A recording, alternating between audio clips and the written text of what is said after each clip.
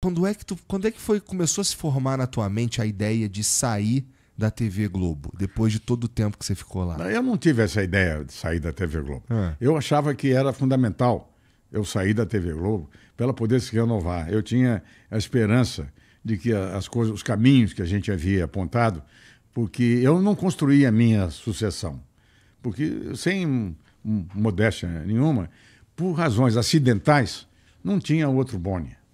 Porque eu. eu, eu- esse- história? Não, o, o Boni apareceu por acaso. Porque, assim, das minhas incertezas. Esse coquetel, assim, eu fui estudar eletrônica, eu fui lá para São José dos Campos para fazer o ITA e desisti quando soube que o salário de engenheiro era menor do que eu ganhava na rádio.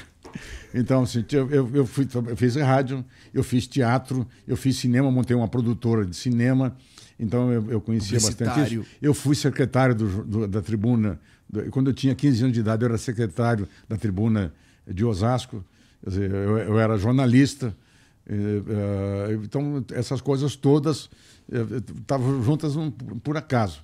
Então eu conhecia cenário, eu conhecia eletrônica. Se o cara dissesse para mim qualquer coisa de uma câmera, eu sabia assim, não é isso. Tanto que todo o planejamento da- da- de toda a estrutura eletrônica da TV Globo sempre passou pela minha mão. Tinha que acontecer isso aí, porque eh, eu, eu, eu tinha, por acaso, tentado essas coisas e não, não tinha seguido nenhuma delas, mas eu tinha uma, uma cultura geral Aham. dos ingredientes necessários para fazer televisão que, que outras pessoas não tinham. Tinha um cara que fez teatro, tinha outro cara que escreveu, tinha outro cara, mas quem, quem tivesse um conhecimento geral desse assunto não tinha. Então eu conversava com os engenheiros, eu conversava com os jornalistas, conversava com os cenógrafos, com os autores de igual para igual. Então, eh, eu, não tinha como montar um cara para substituir isso aí, porque eu teria que botar vários caras para fazendo isso aí, para fazer essa coisa. Agora, a primeira coisa fundamental era separar a produção para poder renovar, separar a produção da exibição, que não foi feito. Mas eh, a, a Globo sobreviveu. Eu digo sempre o seguinte: fizemos um grande transatlântico com muitas máquinas e fortes máquinas. Ele saiu navegando. Para frear aquilo e parar vai demorar. Vai continuar navegando ainda. É, é. E, e aí tu saiu. E aí, e aí o Eu- dia eu fui seguinte saído, fui sa- saído, fui então, saído. aí tá bom. Aí tu foi saído. É. E aí tu acordou no dia seguinte que tu foi saído. Bom, a primeira coisa é o seguinte: eu sempre pensei que um dia eu ia, eu ia parar, mas eu nunca imaginei que eu fosse parar por decisão dos outros. Eu pensei que eu fosse dar o aviso Mas você tem na tua TV, Boni. Dá Não, pra tá você bem, brincar Mas lá, é, né? é, mas, mas eu fui saído. Agora, assim, a discussão que está no livro, que eu acho que é interessante para as pessoas lerem, é o seguinte: o, o Walter Clark teve um problema com o doutor Roberto é, grave, que foi o enfrentamento é, com o pessoal da, da, da, dos generais, de Abacuates e tal, que ele é, é, tomou um, um tamanho de um bileque e como ele tinha razão, ele estava sofrido por causa disso, o Walter sofreu muito desde a entrega da TV eh, de Curitiba, do Paulo Pimentel, para a, a- a- a- televisão, o, o- o Chico da televisão, eh, da, da TV. eh, como é que chama lá? Não, não- não importa. Hoje a emissora que está na Globo, lá, afiliada dele, é a Rádio TV Paraná, coisa assim. Bom, de qualquer forma. Qual que, isso- é, qual que é a TV lá do. Como é que é a Globo lá do, do Paraná, Vitão? É RBR, não é? Paranaense, paranaense. Não lembro, mas tá bom. Vai, É, tá. De forma que é o seguinte: o Walter- o Walter o estava magoado. Tá. porque o, o doutor Roberto atingiu a coisa mais importante que o Walter tinha, a vaidade. E ele determinou que o Walter entregasse a emissora e o Walter, o Walter jamais imaginou que qualquer dia da vida dele o doutor Roberto fosse dar uma ordem dentro da TV Globo, que era uma certa ingenuidade. E ele foi desafiando, desafiando, até um dia que aconteceu de sair. Mas o Walter saiu é, brigado com o doutor Roberto e num momento de, de crise que ele já vinha vivendo durante um ano. E ele foi vítima eh, de- dessa, desse autoritarismo da, da- da ditadura, porque essa, essa, essa emissora foi entregue para outra pessoa por exigência do Figueiredo. Entendi. Então, ah, o, o, Walter eh, a- a- Ficou fi- chateado ficou ali, chateado e não, não se, não se arrumou mais. Então, eu, eu, eu entendo isso aí perfeitamente. Então, o que aconteceu é, é- é- é- foi o seguinte: o Walter saiu por um motivo. O Joe Wallach tava, era americano e queria voltar para os Estados Unidos, pediu demissão. Fizeram um jantar para o João de 400 pessoas. Eu, eu, eu fui é, é, comunicado que eu ia embora de um, um dia para a noite. É, e ninguém me convidou para fazer é, um, um, jantar, nem coisa nenhuma, não. Eu, não, eu, eu era inocente. Entendi. Eu era inocente Entendi. e fui demitido como culpado. Aí, naquele momento, a Globo dava uh, um bilhão de, de reais de lucro por dia, e que era um bilhão de dólares, porque o dólar estava um por um naquele momento. Então, não havia razão nenhuma para eu sair da empresa. E eu podia ter ajudado na reconstrução da empresa de uma outra forma. Podia ter sido mais útil para a TV Globo do que a Globo imaginou. Entendi. E, não, e o pior foi o seguinte: ah. eu saí da sala do Roberto Neu, que é meu amigo, e eu gosto muito dele, um querido amigo de convivência social maravilhosa, e ele não estava errado. Quis, quis, quis, ficar com o brinquedinho, está tudo bem, é o dono. Eu, eu, eu compreendo o Roberto Neu e gosto dele. Mas o Roberto Neu, eu saí da sala dele e assim, eu, falei para ele, vamos trocar uma carta. Porque o Walter Clark trocou uma carta com o doutor Roberto e uma carta do Roberto elogiando o Walter, sendo que o doutor Roberto estava demitindo o Walter por razões pessoais. Né? Então eu falei assim, vamos trocar uma carta de que eu fiquei 30 anos aqui, terminou meu tempo, você estou saindo, vocês querem fazer uma outra uma outra que eu, que eu entendo que é possível, então vamos trocar uma carta. Ele falou assim, então amanhã a gente troca a carta. Eu saí no dia seguinte tinha uma, uma, uma reportagem no Jornal Globo dizendo que eu ia continuar como consultor subordinado a Maluce. Não é nada disso, eu estava indo embora. Né? Isso jamais seria subordinado a Maluce, porque, embora eu goste muito dela também, sempre acho ela uma pessoa muito muito, muito, muito agradável, tá, gosto dela, mas assim, tá, tava, tava tudo errado. Uhum, não era o é, combinado, é, não era eu, combinado. eu não, não eu, eu, eu, considero, como você falou, uma única coisa que não é, na realidade, uma mágoa. É uma, uma, uma constata, porque passou isso aí. Nós, nós éramos felizes e sabíamos. Então, o que, que acontece é o seguinte: é que eu, eu poderia ter saído de uma outra forma. Eu merecia, pelo que eu fiz na TV Globo e pelo que nossos companheiros todos fizemos lá, construímos aquela coisa e demos para eles de presente, eu merecia um, um, um carinhozinho, um afago. Não precisava ser um jantar de 400 pessoas, mas precisava que passasse a mão na minha cabeça e dissesse assim, ou batesse o tapinha nas minhas costas, falou obrigado. Mas eu não recebi tapinha nas costas, eu recebi um pontapé na bunda. Aí é foda, né? Aí fica difícil.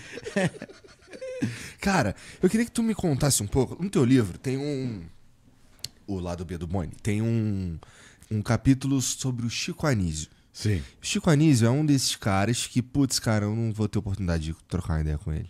É.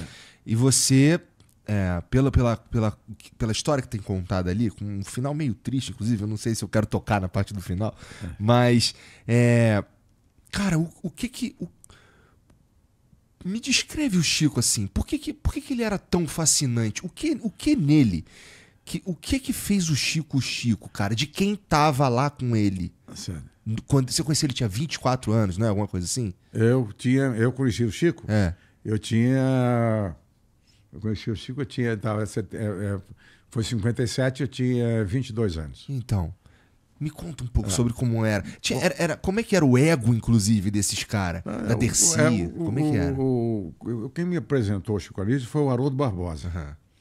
É, nós fazíamos o Divertimentos, e, que era escrito pelo Haroldo e pelo, pelo uh, Sérgio Porto. E o Haroldo me disse: vem aqui ao Rio. Tua memória é boa pra caralho, meu é? irmão. Tua memória é muito boa. É boa, ela tem 90 anos de idade, mas ela foi um, pouco, foi um pouco apagadinha. Tu lembra tá... os nomes, as datas, as idades, lembra tudo. Impressionante, lembro, cara. Lembro, graças a Deus. Lembro. Então é o seguinte: o, o, o aí, na, na realidade nós tínhamos aqui um representante, nós tínhamos lá no Rio de Janeiro um representante que era o Henrique Forés, hum. simplesmente considerado o almirante, a maior patente do rádio. Ele era o nosso funcionário de supervisão dos programas. E um dia o Henrique me ligou, o almirante, Simone, vem para cá, porque o Haroldo vai, é, quer estrear um quadro novo. Uh, eu digo, o quadro novo é, é, é, é, o que o Chico vai fazer. Disse, que Chico? Chico Anísio, assim, uma escolinha para o professor Raimundo. Vai estrear no Revertimentos. Vem para cá que ele quer te apresentar o Chico Anísio. Eu fui para lá para Marinque Veiga. Tem uma foto até desse Tem. momento no uhum. livro aí. É, então, o Haroldo me apresentou o, o Chico.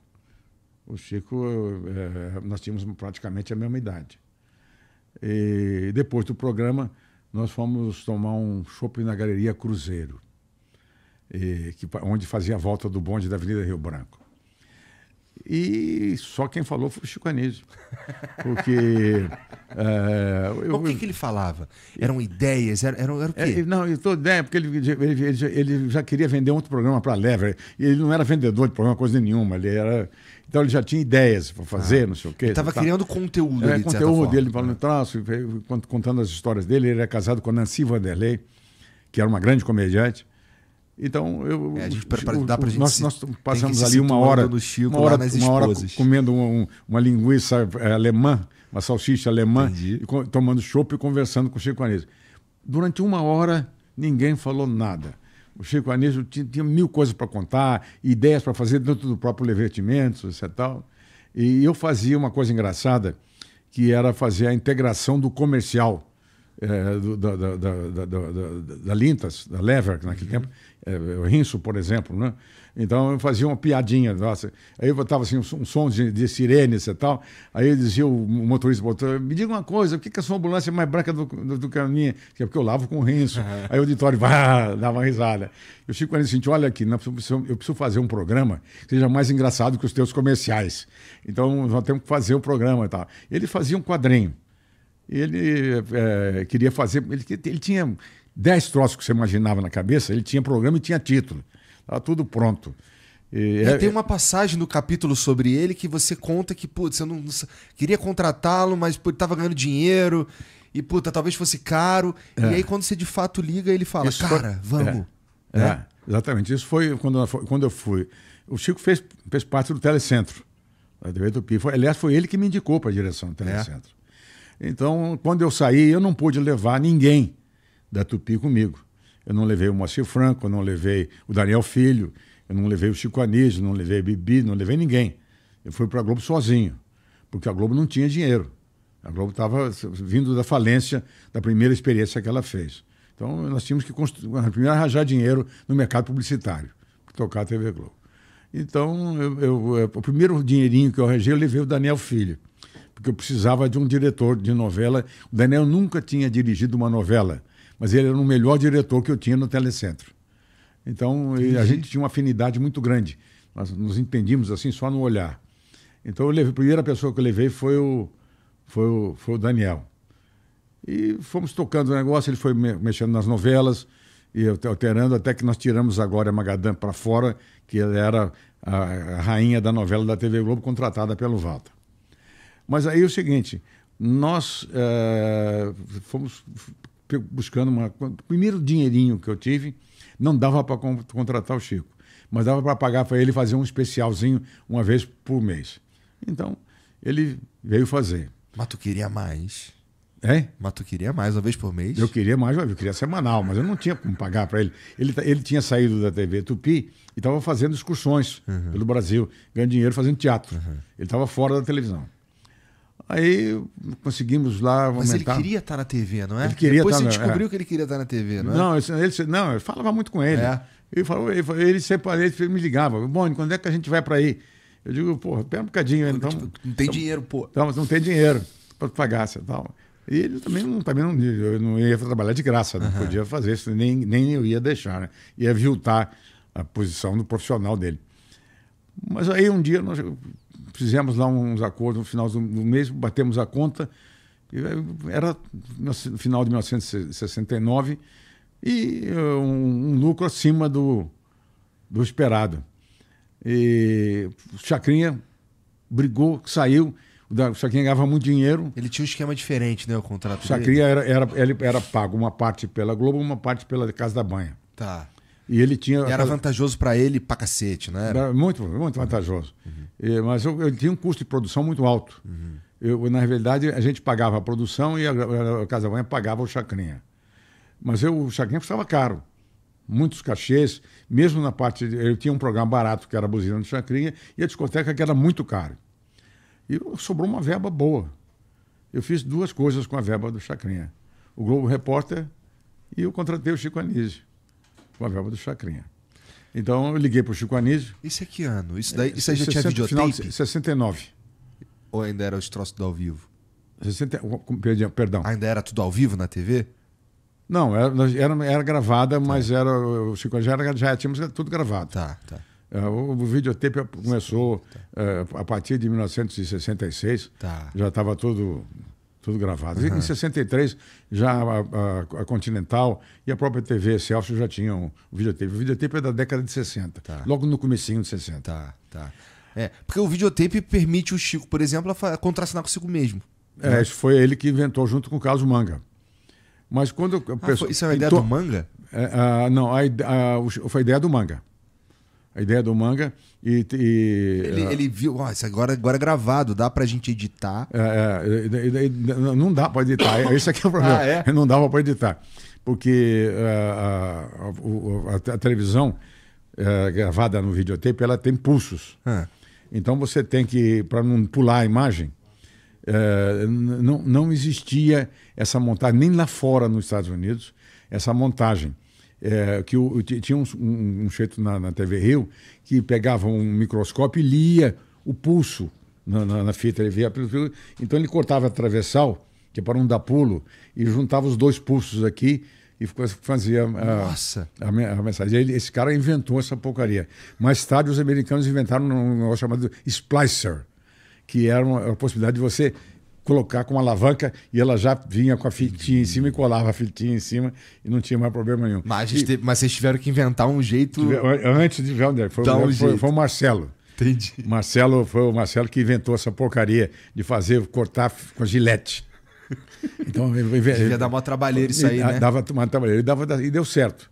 E depois, logo, logo depois, um ano depois, já apareceu o Splicer americano e depois foi tudo pro lixo porque apareceu a edição eletrônica uhum. e depois foi para o lixo, porque apareceu a, a, a, edição da tecnologia de informação, né? É, é. Ah, e você que está assistindo esse vídeo aqui no Talk Flow, dá para você virar membro, cara, do Flow agora. É um botãozinho do lado do botão de se inscrever. A gente faz um programa semanal só para os membros. Olha. Então fique esperto aí. Se quiser virar membro, tá bem aqui do lado, é mão merreca, custa 7, menos de 8 reais, irmão.